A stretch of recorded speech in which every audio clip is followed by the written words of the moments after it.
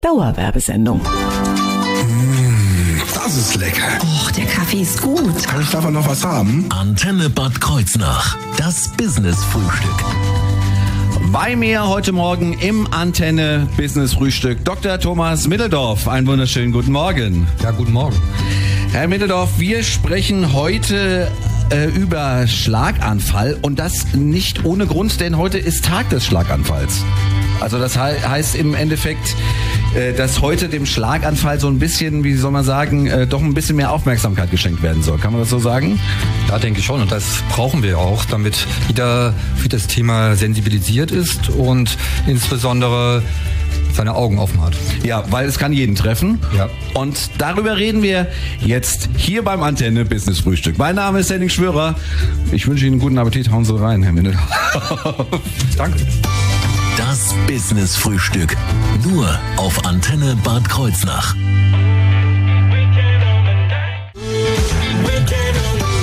Das Business-Frühstück. Nur auf Antenne Bad Kreuznach. Heute beim Antenne Business Frühstück Dr. Thomas Mitteldorf und wir reden über Schlaganfall. Herr Dr. Mitteldorf, was ist denn also ein Schlaganfall genau? Das hat jeder von uns schon mal irgendwie gehört, aber was es genau ist, weiß, glaube ich, keiner so richtig. Also der Schlaganfall, das ist eigentlich ein Überbegriff für eine, eine plötzliche Sauerstoffmangelversorgung kleinerer oder größerer Hirnbezirke. Mhm. Ja, das führt dann zu neurologischen Ausfällen. Und diese können sehr ausgeprägt sein und ganz gering sein. Es kann auch sein, dass nur eine Gesicht, die Gesichtshälfte ein bisschen gelähmt ist zum Beispiel und das könnte schon Ausdruck eines Schlaganfalls sein. Deswegen kann man auch schon bei solchen Symptomen sagen, das ist ein Schlaganfall. Jetzt gibt es natürlich dann verschiedene Ursachen für Schlaganfälle auch. Ja, also das heißt also, es kann sein, dass ein Gerinnsel in den Kopf fliegt und das ist die häufigste Ursache. Das sind also ungefähr 80 Prozent äh, der Schlaganfälle betreffen das. Das sind, sagen wir mal, zum Beispiel bei Verkalkung der Halsschlagadern können da, die sich dann zunehmend verengen mit dem Alter. Und die können dann quasi ins Gehirn fliegen und einen größeren oder kleineren Bezirk äh, ja, schädigen. Manchmal kann es sein, dass es nur ein ganz kleiner Bezirk ist, der aber große Auswirkungen hat, weil da ganz viele wichtige Bahnen durchlaufen und praktisch, also wirklich nur punktförmig sind und trotzdem eine voll, volle Lähmung einer Körperhälfte verursachen. Und manchmal fallen die überhaupt nicht auf. Also das ist halt das Komplizierte an der Sache und deswegen muss man eigentlich auch schon bei kleinen Ausfällen darauf achten, weil diesen können auch große Folgen und deswegen ist es ganz wichtig, das weiter zu untersuchen. Okay, kann man äh, sagen, wie viele Menschen im Jahr äh, so einen Anfall erleiden? Oder ist das, das ist ja, man hört das ja schon immer wieder, aber Gibt's da Zahlen? Also ich habe da auch mal nochmal nachgeguckt, weil im Alltag beschäftige ich mich jetzt auch nicht damit mit den genauen Zahlen. Also wenn Sie überall so in den Datenbanken gucken, auch bei Wikipedia und auch sonstigen bei den Fachgesellschaften, dann spricht man von ungefähr 250.000 Schlaganfällen im Jahr.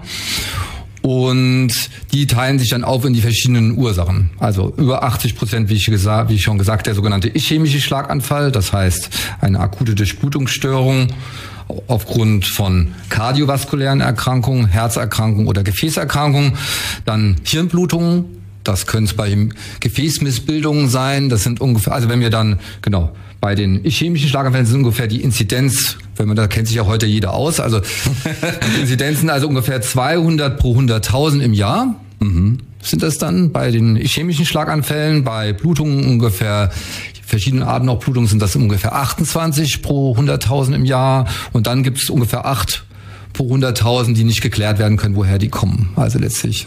Mhm. Und das ist also doch häufig, ne, muss man sagen. Ja, Wenn man da auch dann, sagen. dann kann man auch sagen, zum Beispiel, das ist also die häufigste Ursache einer dauerhaften Behinderung und die dritthäufigste Todesursache überhaupt der Schlaganfall. Also Sie haben es äh, gerade eben schon mal so ein bisschen äh, angedeutet.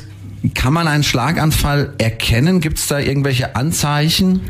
Wie schon gesagt, das ist ein äh, schwierig. Ja, das ist, das sagen wir mal, das ist nicht schwierig. Eigentlich muss man aufmerksam sein. Ne? Man kann jeglich, wenn man denjenigen kennt, dann können, kann schon die Gesichtslähmung ein Hinweis sein, eine einseitige Gesichtslähmung oder äh, es kann eine eine Extremität kann gestört sein, eine Bewusstlosigkeit kann es sein, ein Schwindel. Letztlich muss man aufpassen und im Zweifelsfall sollte man rechtzeitig den Rettungsdienst rufen, um das Thema äh, zu beleuchten. Lieber einmal zu oft als einmal zu wenig. Ne? Genau. Okay, wir reden gleich äh, von der Behandlung und der Vorbeugung beim Thema Schlaganfall.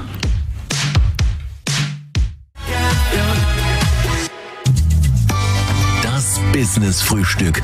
Nur auf Antenne Bad Kreuznach. Bei mir immer noch Dr. Thomas Middeldorf vom Krankenhaus St. Marienwörth und wir reden über das Thema Schlaganfall. Ja, äh, Herr Dr. Middeldorf, gibt es irgendwelche Möglichkeiten, einen Schlaganfall zu behandeln? Ja, zum Glück gibt's diese. Voraussetzung ist aber, dass man den erst nochmal, da komme ich schon mal drauf zurück, dass man den erstmal erkennt. Und dafür empfehle ich den sogenannten Fast Score. Ne? Das heißt F wie Gesicht, Face und A wie Arm und ähm, S wie äh, Gesicht, heißt er auf Englisch. Ne? Und da sollte man darauf achten, dass man, ein, wenn man eine einseitige Gesichtslähmung sieht oder einen absinkenden Arm, wenn man die Arme nach vorne hält oder man hat eine Sprachstörung, dass man dann nicht zögert, sofort den Rettungsdienst rufen und man einen Schlaganfall vermutet. Man kann nämlich nur in der frühen Phase eine gute Behandlung einleiten. Ne? Das heißt, je länger man wartet, umso unwahrscheinlicher wird es, ein gutes Ergebnis erzielen und dann noch keine Behinderung mehr zu haben. Hierfür sind die Schlaganfalleinheiten eigentlich gedacht. Ne? Also wir, die Patienten kommen dann zu uns und wir prüfen dann, ob äh, ein Schlaganfall vorliegt, machen so schnell wie möglich ein CT und auch eine Angiografie, also eine Gefäßdarstellung der Schlagadern im Gehirn. Und wenn wir dann das äh, sagen können, es ist ein Schlaganfall, dann können wir die beste und schnellste Therapie einleiten, nämlich eine sogenannte Lysebehandlung. Diese soll hat das Ziel quasi das Gerinnsel aufzulösen und äh, möglichst dann die ganzen Symptome wieder zurückzubilden. Und das gelingt tatsächlich auch. Äh, manchmal bleibt da das Gerinnsel dort stecken oder wenn ein Gerinnsel nachweisbar ist, dann kann man mit dem mit einem neuroradiologischen Kooperationspartner quasi den Patienten dorthin verlegen und das Gerinnsel mit einer sogenannten Trompektomie entfernen. Mit diesem Verfahren kann man sogar noch in das Zeitfenster von viereinhalb Stunden hinaus gute Ergebnisse erzielen. Das heißt also, auch wenn Sie später kommen sollten, gibt es immer noch eine Möglichkeit, das gut zu behandeln, noch eine eine, eine langfristige Einschränkung zu verhindern. Okay, aber Zeit spielt also auf jeden Fall eine große Rolle. Ähm, wenn man äh, ja einen Schlaganfall erlitten hat, ähm, was kann man denn tun, um möglichst keinen Schlaganfall zu erleiden? Also wir haben ja gehört, dass die meisten Schlaganfälle aufgrund der Herz-Kreislauf-Krankheiten zu, zustande kommen. Das sind dann also die ganz normalen Risiken, die man hat. Das genetische Risiko kann man natürlich nicht beeinflussen. Also die einen kriegen halt schon aus der Familie raus mit sehr, sehr früh Schlaganfälle und oder Herzinfarkte, aber insgesamt kann man natürlich sehr viel durch Ernährung tun. Man kann nicht rauchen, man kann auch nur wenig Alkohol trinken bis gar keinen und Sport machen das sind so die wesentlichen Dinge. Und ich empfehle in meisten Fällen, wenn man sagt, gesund ernähren, man sollte sich die mediterrane Kost angewöhnen. Das heißt, viel Gemüse essen, wenig Fleisch und äh, mit Olivenöl kochen zum Beispiel, also ungesättigte Fettsäuren. Fisch essen ist auch gesund. Da kann man diskutieren natürlich viele Leute, ob das heutzutage noch angemessen ist, aber trotz allem anderes Thema, ja, ist ein anderes Thema. Ne? Aber prinzipiell ist Fisch ein gesundes Lebensmittel, weil ganz viele ungesättigte Fettsäuren da drin sind. Okay, und dementsprechend ähm, ja muss ich also sollte ich äh, mich gesund äh, gesund ernähren und dann ist das Risiko, ich sag mal, geringer, aber ich sag mal, auf der anderen Seite muss, kann man so ein Risiko, also so ein Schlaganfallsrisiko auch frühzeitig irgendwie erkennen? Geht das auch? Also man sollte natürlich zum Hausarzt gehen. Mhm. Ne? Und man sollte sich dort mal die Cholesterinwerte abnehmen lassen, ab 40 vielleicht, gell? Und wenn man in einer Familie ist, lebt, die, wo es viele frühe Schlaganfälle gibt, das heißt, also wenn, wenn schon Leute mit 40 Jahren Schlaganfälle oder Herzinfarkte bekommen haben, dann muss man dann auch schon früher hingehen und gucken, ob der Cholesterinwert zum Beispiel sehr hoch ist, weil es gibt ja Leute mit angeborenen Störungen quasi und die kann man dann behandeln. Das ist ein Beispiel dafür. Und insgesamt ist natürlich die familiäre Geschichte wichtig. Wenn Leute früh einschlagen, dann sollte man auch mehr gucken. Ansonsten, auch bei Hirnblutungen zum Beispiel, ne, dann kann man auch, also wenn, gibt's ja so angeborene Gefäß, Störungen, dann kann man, könnte man theoretisch auch gucken. Aber das sind ja seltenere Sachen. Also die mhm. häufigen Sachen sind ja häufig und da es gilt auch für die meisten Leute.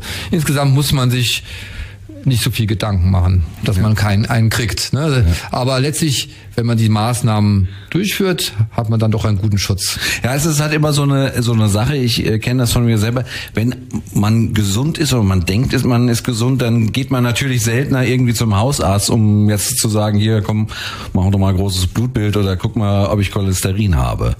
Ähm, aber das sollte man durchaus auch ab einem gewissen Alter dann tun. Genau. Ich denke, dass man mit gesunder Lebensweise länger leben kann.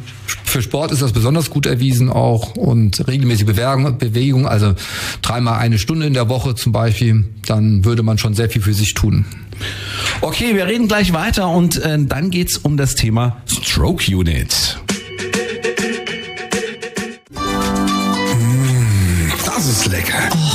Kaffee ist gut. Kann ich davon noch was haben? Antenne Bad Kreuznach. Das Business-Frühstück. Heute ist der 10. Mai und das ist der Tag des Schlaganfalls, also ein Tag, wo man über Schlaganfall und den Folgen und vor allem die Vorbeugung ein bisschen mehr drüber nachdenken sollte. Bei mir deswegen heute Dr. Thomas Middeldorf vom Krankenhaus St. Marienwörth. Einen wunderschönen guten Morgen. Guten Morgen. Wir reden gleich weiter und dann geht es um das Thema Stro Stroke Unit und was das genau ist. Mein Name ist Henning Schwörer. Schönen guten Morgen. Das Business Frühstück. Nur auf Antenne Bad Kreuznach.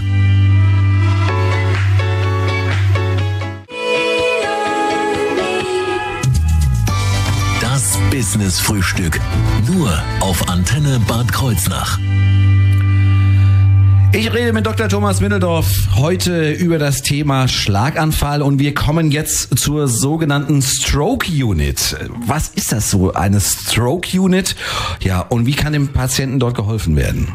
Das heißt ja eigentlich auf Deutsch Schlaganfalleinheit, aber mhm. eigentlich ist das nicht so einfach zu sagen. Ne? Das ist nämlich ein komplexes Gebilde aus verschiedenen Berufsgruppen, die da zusammenarbeiten. Das beginnt mit dem Rettungsdienst, der den Patienten bringt, dann die Notaufnahme, in der der Patient primär behandelt wird und wohl auch die sogenannte Lysebehandlung gemacht wird und dann die eigentliche Schlaganfalleinheit, wo die Patienten danach hinkommen und dann nach den Grundsätzen behandelt werden. Da sind auch wiederum ganz viele Berufsgruppen mit beteiligt. Das sind also die Physiotherapeuten, die Ergotherapeuten, Logopäden, Neurologen, Internisten. Und da wird dann also der Patient behandelt, diagnostiziert, um dann das weitere Risiko zu minimieren, einen erneuten Schlaganfall zu bekommen. Und ähm, zudem sind wir auch noch verbunden in dem Ganzen mit einer äh, teleneurologischen betreuenden Klinik die uns praktisch unterstützt in der Akutbehandlung. Das heißt, ähm, der Patient, der ins die Not, das muss man so kommt, die Notaufnahme in den Raum, da gibt es eine Monitoranlage, dann wird, nachdem er das CT gemacht hat, dort äh, Audio, visuell und auditiv vorgestellt. Das heißt, ein Neurologe sitzt am anderen Ende und kann den Patienten mitbeurteilen und entscheidet dann mit uns zusammen, wie die weitere Behandlung durchgeführt wird. Diese Akutbehandlung, wie wir gesagt haben. Ne? Mhm. Kriegt er diese Lysebehandlung und dann die Trompektomie und kommt dann entweder zur Verlegung oder auf unsere Schlaganfalleinheit im engeren Sinne. Okay. Äh, Im Krankenhaus St. Marienwörth gibt es ja seit etwa 2005 äh, auch eine Stroke Unit. Äh, was bedeutet das hier für die nahe Region? Also Sie müssen einmal so sehen, in den 90er Jahren gab es noch gar keine klaren Konzepte für die Behandlung von Schlaganfällen. Das heißt, meine Oma und auch meine Großtante, die hat es beide ereilt. Mhm. Und das, das deswegen kenne ich mich da ganz gut aus, in wie das, das passiert. Ne? Die werden dann einfach, wurden einfach in irgendeinen Raum geschickt. Also auch in der Uniklinik, in der Notaufnahme lagen die dann rum und es ist aber nichts Richtiges passiert. Erst dann hat man gesehen, also da muss man das verbessern und es kann auch nicht sein, dass die Leute ganz weit fahren müssen. Ja, das heißt, wenn wir keine Schlaganfalleinheit hier hätten, dann, dann würden die Leute alle durch die Gegend fahren, 50 Kilometer oder weiter. Und das würde die weitere Behandlung noch mehr verzögern. Also besonders die Lysebehandlung. Deswegen können wir froh sein, dass wir hier eine Schlaganfalleinheit, dass der Patient, der direkt in Bad Kreuznach oder im, in Bingerwald oder wo auch mhm. immer einen Schlaganfall hat, direkt zu uns kommen kann und dadurch standardisiert schnell geholfen bekommt. Okay. Vor kurzem haben Sie die Urkunde als zertifizierte telemedizinisch vernetzte Stroke Unit bekommen. Was bedeutet das genau? Also zum einen ist es die einzige telemedizinisch vernetzte Stroke-Hütte in ganz Rheinland-Pfalz. Okay. Das heißt, wir haben ja schon ein Alleinstellungsmerkmal und ähm, können auch ein bisschen stolz drauf sein, weil das bestätigt uns eigentlich in unserer Arbeit, dass wir halt diese ganzen Abläufe wirklich gut strukturiert haben. Ne? Das ist gar nicht so einfach und es war auch sehr viel Arbeit, das für dieses Zertifikat zu erarbeiten, weil man dann doch mal alles nochmal durchgehen muss, musste und auch noch optimieren musste. Man, man ist dann praktisch gezwungen, mm. noch es noch besser zu machen. Ja, und das ist deswegen hat das schon einen Vorteil, sich ein Zertifikat zuzulegen. Okay. Und telemedizinisch heißt das, was Sie eigentlich vorhin angesprochen haben, dass auch praktisch äh, über die Ferne äh, da Ärzte dann draufschauen können. Genau, also Neurologen. Die genau. Voraussetzung ist, dass ein Neurologe einen Patienten mitbeurteilt, wenn man einen Schlaganfall behandeln muss. Und da aber nicht überall in jedem kleinen Krankenhaus, und wir sind ja ein noch kleines Krankenhaus, äh, immer ein Neurologe vor Ort sein kann. Ähm, also die größeren regionalen Stroke Units, das ist ja, wir sind ja eine kleine, die größeren regionalen Stroke Units, die haben halt immer Neurologen vor Ort. Das ist der große Unterschied. Ähm, wir haben eben keinen Neurologen vor Ort. Und deswegen können wir aber trotzdem Schlaganfälle richtig behandeln. Und das ist der große Vorteil. Und das ist natürlich auch ein Vorteil äh, hier für die Nahregion, weil es, äh, es ist einfach, die, die Wege, wie Sie gerade eben schon gesagt haben, sind einfach nicht so weit. Ja. Früher vielleicht. Also 20 Minuten Verzögerung, also wenn sich die Behandlung um 20 Minuten verzögert, muss man einen Patienten mehr behandeln, um ein gutes Ergebnis zu erzielen. Hm. Okay. Das ist so erwiesen, da gibt es gute Studien, die das belegen. Also von daher gesehen, 20 Minuten, schon 20 Minuten machen etwas aus. Also von daher gesehen ist das die, der richtige Weg, das zu dezentralisieren. Genau. Wir reden gleich weiter über das Thema Schlaganfall.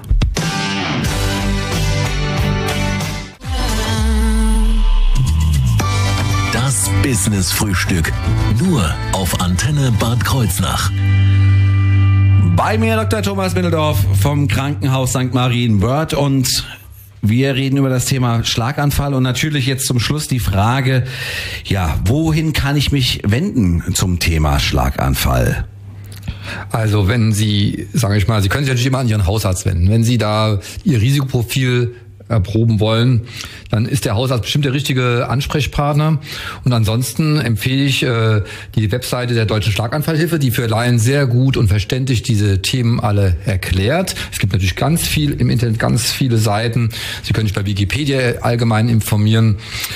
Und ähm, wenn, Einmal im Jahr bieten wir zudem, also bis Corona war das jedenfalls der Fall, den, den, deutschen, den, den Schlaganfallbus mit Böhringer zusammen an. Das heißt, wir stehen dann einmal in der Stadt hier und stehen dann Rede und Antwort. Da können Sie hinkommen. Hoffen wir, dass das dieses Jahr wieder stattfindet? Ja, hoffen. Ja, dieses Jahr glaube ich nicht. Nächstes okay. Jahr. Das ist noch zu knapp, ne, da, ja. diese Maß. Aber ich denke, wenn alle wieder ohne Maske durch die Gegend laufen können und wir uns treffen können, dann wird das wieder so. Auch dann werden wir auch wieder eine jährliche Fortbildung anbieten zum Thema Schlaganfall. Okay. Herr Dr. Mitteldorf, vielen Dank, dass Sie da gewesen sind und uns mal das Thema Schlaganfall ein bisschen äh, näher gebracht haben heute am Tag des Schlaganfalls. Ja, äh, vielen, vielen Dank dafür und äh, ja, ich wünsche Ihnen alles Gute. Ja, vielen Dank und tschüss. Ne? Tschüss. Dunkel draußen.